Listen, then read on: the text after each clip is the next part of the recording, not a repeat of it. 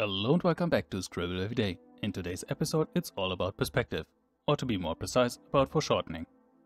I will study this topic on a simplified version of an arm, which is constructed out of two spheres, two cylinders, and an helmet-shaped hand.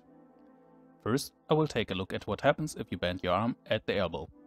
Next, I will do the same, but with the entire arm rotated around the shoulder. So, what is foreshortening?